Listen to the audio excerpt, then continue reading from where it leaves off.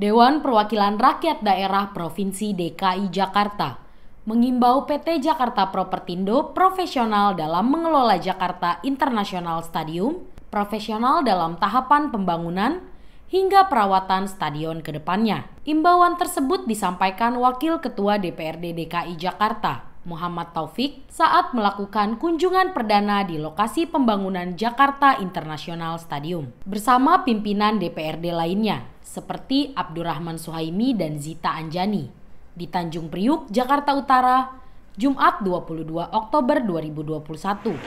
Bagi masyarakat Jakarta kita senang, ini bagi Jakpro harus berpikir setelah ini jadi gimana nih ngelolanya kita punya pengalaman pahit di Peledro, kemudian di Pulau, Mas itu, Ekostrian, itu pengalaman pahit. Bebannya akhirnya pada Jakpro, terutama dalam beban penyusutan yang harus dibayar oleh Jakpro. Sampai sekarang kita juga nggak mau nanti ini dibangun satu kali pertandingan dimulai kemudian kayak Jakabaring mudah-mudahan ini harus dikelola secara profesional dan Jakpro harus lebih terbuka dalam mengelola eh, stadion ini karena memang harus dilakukan oleh orang-orang profesional. Ongkosnya tidak sedikit stadion.